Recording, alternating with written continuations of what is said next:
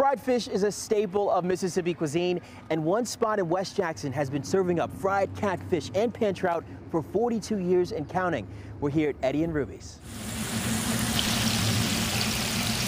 It was a legacy that my father had and my mother had, and they loved what they did. And so I love them, and so I love doing what they did. We cook catfish, pan trout, and we do uh, whole catfish, uh, catfish steak, fries, green salad.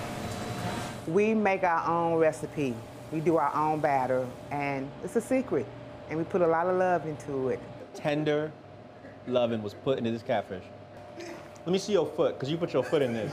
Let me see your foot. And this is the pan trout right here.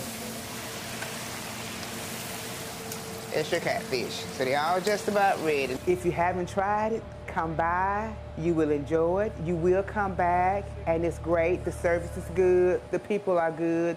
And we're just down earth people. Four decades, and they are still going strong. As always, thanks for watching.